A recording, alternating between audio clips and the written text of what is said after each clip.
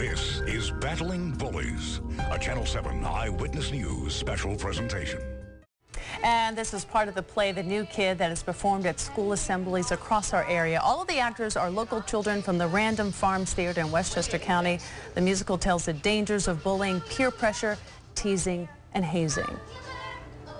So there's definitely hope that kids can help kids and end the cycle of bullying. It just takes a few young people to take a stand and more will follow.